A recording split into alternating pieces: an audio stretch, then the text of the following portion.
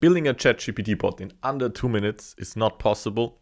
Let me prove you wrong. First things first, we head over to codesphere.com and click on the sign in or sign up button. I already have an account, so this step is pretty easy. I use my GitHub account. After that, we will create a new workspace with this button on the top right. Just click it and enter the following GitHub URL. This will use Llama 2 which is an open sourced large language model developed by Meta.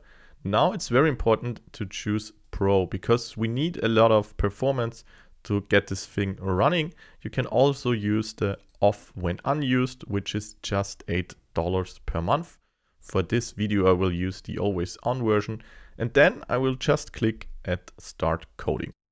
Within a few seconds, your environment is running and you can create new terminals with the plus icon here.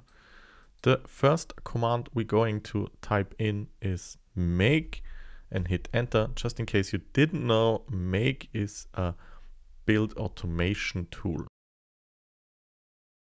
After building, the next thing we're going to type in is cd models, which just changes the directory to the models directory.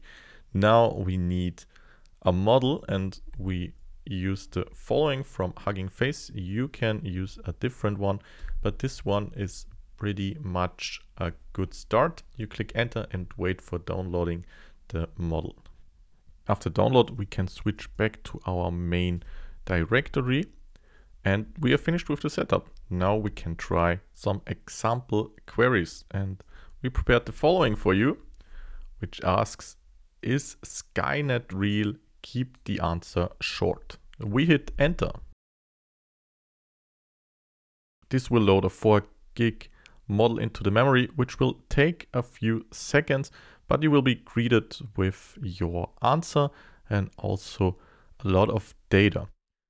That's really cool, but what is cooler than a terminal interface? Of course, a web interface. And we also got you covered for that. Just type in the following and hit enter.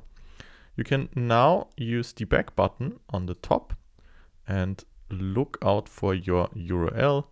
Click here, it will be copied and you can just open a new tab, click enter and you will see the web interface of your Llama model. You can tweak it a bit with different options and different templates or you just can use the say something input and type in hi and click send and you will see in just few seconds Llama will greet us and we have a similar bot interface to ChatGPT. It's that simple. Also feel free to reach out to us if you're interested in getting early access to our new GPU plans.